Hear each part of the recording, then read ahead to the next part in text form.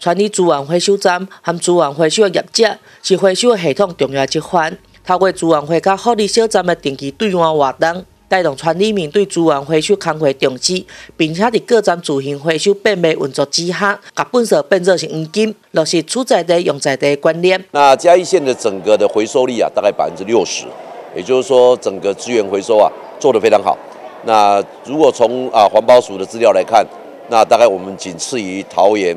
啊台南那这些六都的县市，我们是全国排名第四啊。那可以说啊大家都很努力，